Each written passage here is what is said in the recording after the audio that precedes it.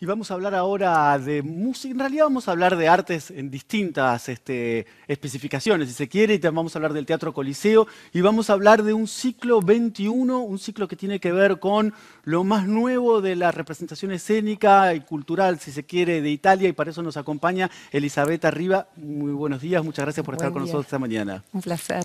Contanos un poco de qué se trata este ciclo. Sí, el Teatro Coliseo quiere recuperar su rol de faro de la cultura italiana, particularmente de la cultura contemporánea. El Teatro Coliseo es un teatro italiano, si bien es un teatro de todos los argentinos y de la ciudad de Buenos Aires.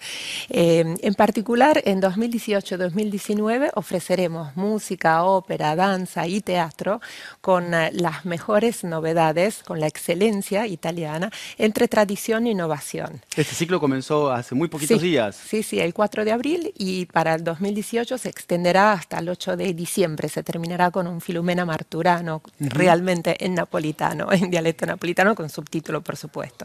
Pasando a través de la música clásica, del jazz, del pop, de la danza contemporánea, neoclásica y para después prepararnos para 2019 cuando profundizaremos aún más la contemporaneidad de la teatralidad italiana.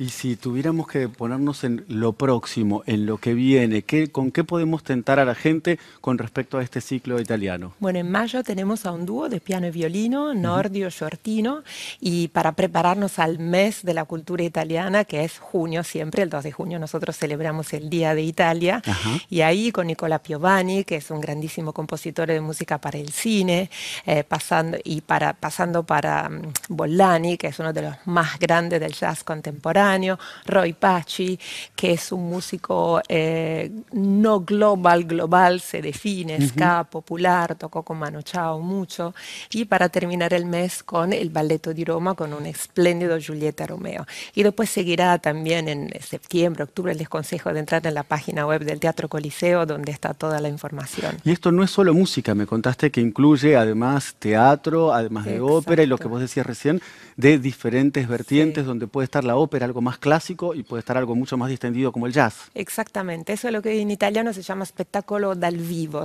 eh, serían las artes escénicas.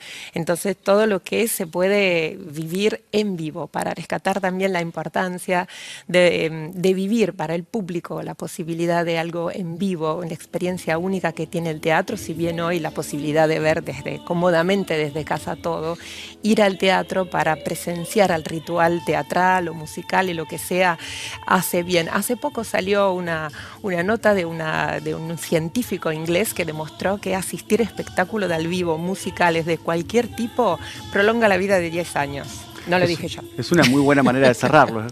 Entonces, asistir a espectáculos musicales en vivo te prolonga la vida durante 10 años. años. Sí. Es realmente una, este, algo más para invitar a la gente a disfrutar de este ciclo 21 en el Teatro Coliseo. Elizabeth Arriba, muchas gracias por haber estado esta mañana con nosotros.